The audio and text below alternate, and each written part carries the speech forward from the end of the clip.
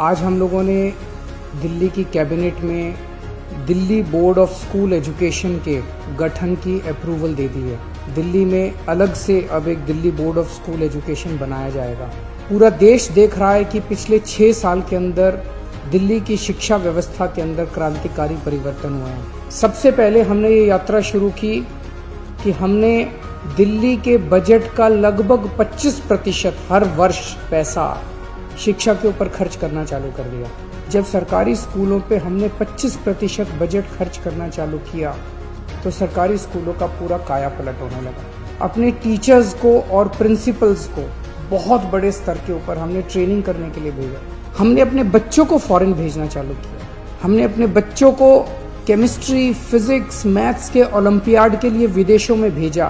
कई सारे प्रयोग पिछले छह साल के अंदर किए गए।